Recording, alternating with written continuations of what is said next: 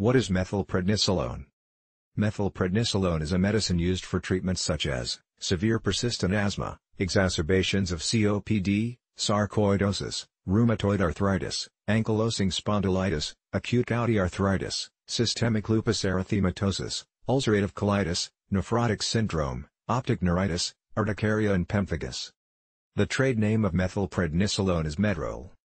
Mechanism of action Interacts with specific intracellular cytoplasmic receptors. Methylprednisolone dosage Oral. In general, initial adults, 12 to 80 mg day, children, 0.8 to 1.5 mg kg, max. 80 mg day. Maintenance in adults, 4 to 8 mg, maximum 16 mg day. Maintenance in children, 2 to 4 mg, max. 8 mg day. Warnings and precautions.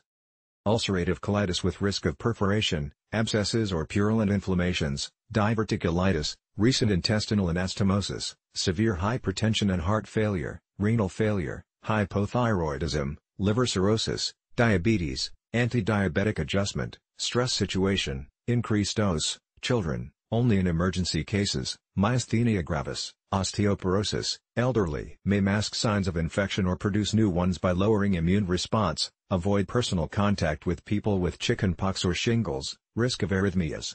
Do not vaccinate, not recommended during pregnancy and lactation. Side effects of methylprednisolone.